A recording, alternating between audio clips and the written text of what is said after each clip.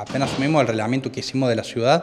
es que estábamos muy atrasados con respecto a otras ciudades que han avanzado eh, en el tiempo con lo que es la, eh, la, gestión integral de residuos sólidos urbanos. Apuntamos a eso, son procesos largos, de las cuestiones que no hemos propuesto, por mencionar alguna, la escombrera municipal, las islas verdes de recepción de, residuos electrónicos, los puntos verdes para la separación en origen de las casas y, trabajo con los recuperadores urbanos en lo que es papel, eh, plástico, aluminio y, botellas de vidrio. Eh, y lo que también significaba para nosotros el hecho de tener una, una planta de separación a gran escala, como la tiene Maipú, como la tiene Rosario, eh, y algunas otras cuestiones más que no hemos planteado que le faltaban a la ciudad. Hoy ya tenemos, eh, podemos anunciar que en breve está arrancando la obra, si no es la semana que viene, la otra, de la escombrera municipal, tal cual hemos logrado la habilitación de la provincia,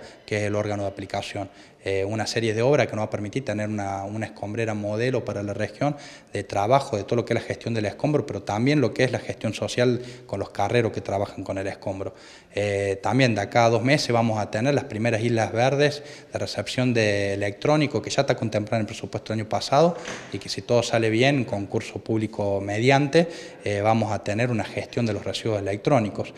con todo esto evitamos de que llegue mayor tonelaje al vertero controlado, como una gestión ambiental, pero también lo que es la limpieza de los microbasurales, porque no van a llegar a los microbasurales, que es lo que también nos, está preocupando. Bueno, distintas cuestiones que cuando nos pusimos a armar el Código de Higiene Urbana con todas las organizaciones que participaron, eh, justamente tiene que ver con mirar a Río Cuarto a largo plazo. Son procesos largos, involucra eh, cuestiones culturales, eh, involucra